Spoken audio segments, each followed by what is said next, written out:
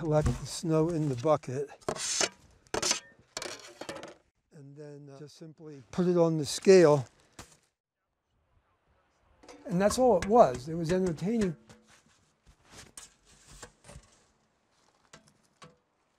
I went back through my notebooks and compared that winter to all the other winters.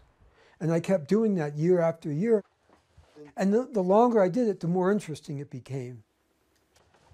18th, okay, there was 61 inches of snow on the ground at sunset that day. So the, the low was actually minus 15 and the high was uh, minus three and a half. Longest wind of the year, three trees down just east of the cabin.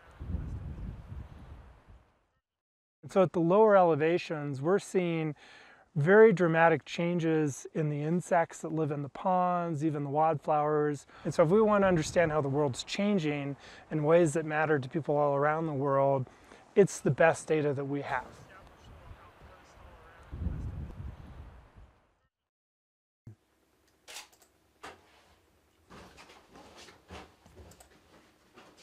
February used to be a very winter cold month, and now it's become mild.